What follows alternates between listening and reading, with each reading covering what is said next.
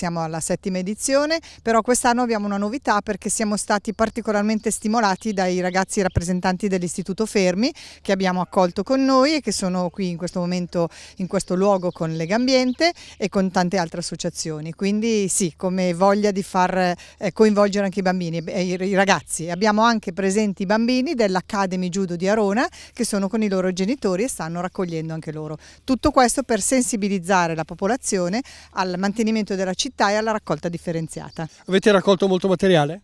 Sì, molto, abbastanza. In particolare?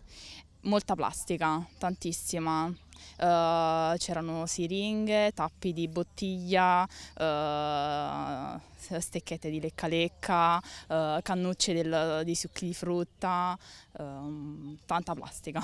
È molto importante il volontariato per queste iniziative?